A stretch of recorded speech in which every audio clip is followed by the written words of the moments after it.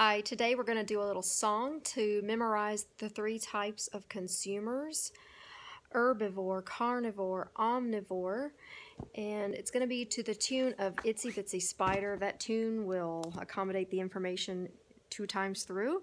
So we'll go through the entire song two times, but you'll actually hear the information four times. Okay?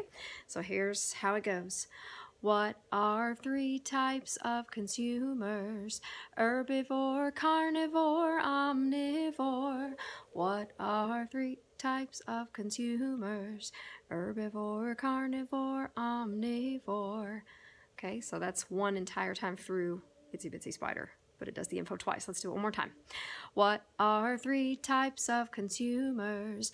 Herbivore, carnivore, omnivore. What are three types of consumers? Herbivore, carnivore, omnivore. Hope it helps.